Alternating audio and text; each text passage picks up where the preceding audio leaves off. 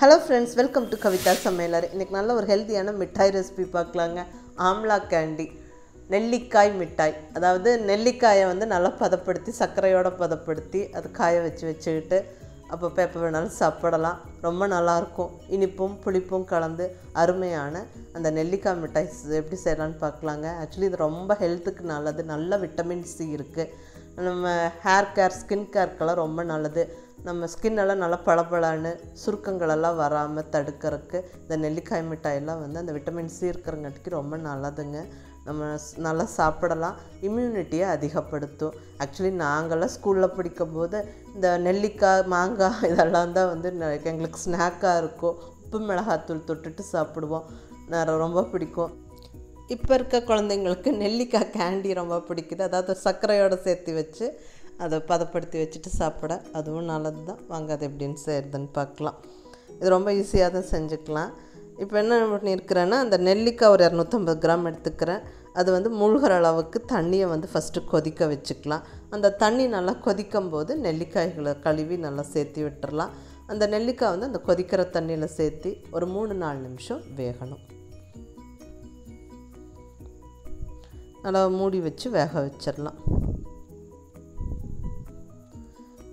இப்போ நல்லா கொதிக்குது பாருங்கள் இந்த மாதிரி நல்லா தளதளன்னு கொதிக்கிற தண்ணியில் இந்த நெல்லிக்காயை ஒரு மூணு நாலு நிமிஷம் போட்டு வைக்கணும். அதுக்கப்புறம் அதை எடுத்து ஆற வச்சு ஜஸ்ட் இப்படி வந்து நல்லா வெந்திருக்கும். இப்படி நல்லா ஒரு கையில் அப்படி ஒரு அழுத்துனாவே அப்படியே அந்த பூ எதழ் மாதிரி அப்படியே பிரிஞ்சு வந்துடும் அது அப்படியே தனித்தனியாக நம்ம வந்து பிரித்து எடுத்துக்கலாம். கொட்டை தனியாக இது தனியாக வந்து பிரித்து எடுத்துக்கலாம். பாருங்கள் அழகாக அப்படியே டக்குன்னு பிரிக்க வரும். நல்லா வந்து நெல்லிக்காய் வெந்துருச்சு. இப்போ நல்லா வந்து நெல்லிக்காவை எதில் எதெல்லாம் பிரித்து வச்சாச்சு. நம்மளுக்கு எந்த சைஸ் வேணுமோ அந்த சைஸுக்கு ஆக்சுவலி அதுவே வந்து அப்படி பிரியும் அந்த சைஸில் அது மாதிரி பிரித்து வச்சாச்சுங்க.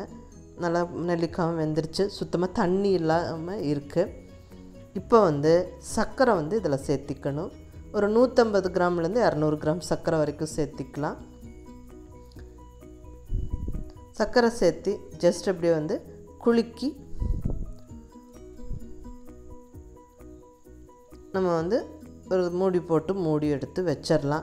ஒரு ஒன் ஆர் டூ டேஸ் அது அப்படியே இருக்கட்டும். அதை டிஸ்டர்ப் பண்ண வேண்டாம். சர்க்கரை வந்து நல்லா கரைஞ்சி அந்த சர்க்கரை பாகலையே வந்து அந்த நெல்லிக்காய் ஊறிடும் அதுக்கப்புறம் நம்ம பிரித்து எடுத்து அதை காய வைக்கணும். பாருங்கள் நெல்லிக்காய் வந்து அந்த சர்க்கரைப்பாகு நல்லா கரைஞ்சிருச்சு. நெல்லிக்காவும் நல்லா ஊறிடுச்சு இப்போ இந்த சர்க்கரைப்பாகை வந்து தனியாக நம்ம பிரித்து எடுத்துடலாம் வடிகட்டியில் வடித்து எடுத்துட்டு அது தனியாக இது தனியாக வச்சுக்கலாம். இப்போ இந்த நெல்லிக்காவை கொண்டு போய் ஒரு ரெண்டு நாள் வெயிலில் காய வச்சிடலாம். இந்த சர்க்கரைப்பாகை கொஞ்சமாக கொதிக்கிறதுக்கு வச்சு ஒரு பாட்டிலில் ஊற்றி நம்ம ஸ்டோர் பண்ணிக்கிட்டோம்னா எப்போ வேணாலும் ஜூஸ் மாதிரி கலந்து குடிக்கலாம். இப்போ அந்த நெல்லிக்காய் வந்து ரெண்டு நாள் காஞ்சதுக்கப்புறம் ஒரு ரெண்டு ஸ்பூன் சர்க்கரை வந்து நல்லா மிக்ஸி ஜாரில் போட்டு பொடிச்சிருக்கேன். இனி மேலால் அதை தூவி எடுத்து ஏர்டைட் கண்டெய்னரில் க்ளோஸ் பண்ணி வச்சுக்கிட்டா அவ்வளோதாங்க எப்போ வேணாலும் எடுத்து சாப்பிடலாம். ரொம்ப சிம்பிள் மெத்தடு தான். நெல்லிக்காய் நம்மளுக்கு எப்போ கிடைக்குதோ அந்த இப்போ இப்படி செஞ்சு வச்சுக்கிட்டா நம்ம வந்து எப்போ வேணாலும் சாப்பிட்லாம். நல்ல ஒரு ஹெல்த்தியான மிட்டாய். ஸோ இந்த மிட்டாய் செஞ்சு பாருங்கள் ட்ரை பண்ணி பார்த்துட்டு உங்கள் ஃபீட்பேக் சொல்லுங்கள் கவிதா சமையல் நிறைய சப்ஸ்கிரைப் பண்ணி என்னோடய மற்ற ரெசிபிஸும் வீடியோஸும் பாருங்கள் தேங்க்யூ